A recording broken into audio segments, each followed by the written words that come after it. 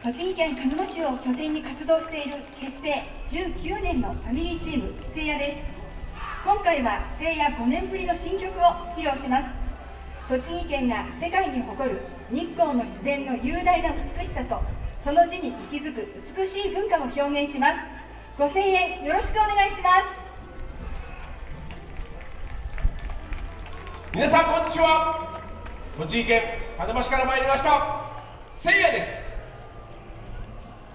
のテーマは栃木県が世界に誇る日光日光の自然の雄大な美しさとその地に息づく歴史そしてそれぞれが調和する姿を全身全霊で表現いたしますここでお客様に一つお願いがあります演舞途中「叫べ日光」というフレーズが4回あります私が「叫べ」と言った後日光と称してもらえるとこの日光賛美が完成いたします。それではご声援よろしくお願いします。レイ